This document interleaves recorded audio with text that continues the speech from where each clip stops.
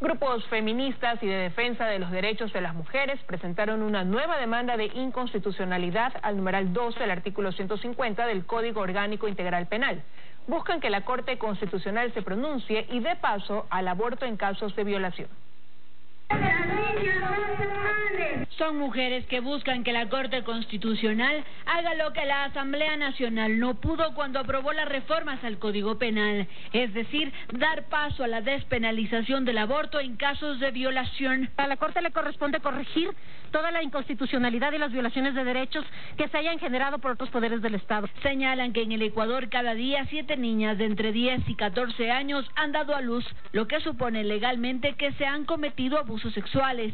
Y por esa razón le piden a la Corte celeridad en el tratamiento de esta demanda al inciso 2 del artículo 150 del COIP. Pedimos que esta demanda se conozca de manera urgente porque afecta de manera desproporcionada los derechos de niñas, niños y adolescentes. Esta es la segunda demanda que presentan estos grupos feministas.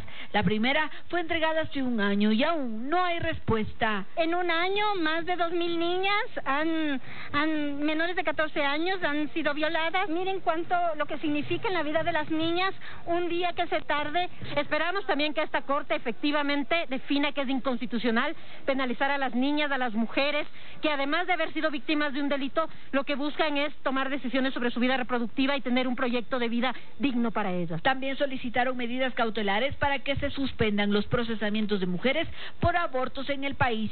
En Quito, Andrea Samaniego, 24 horas.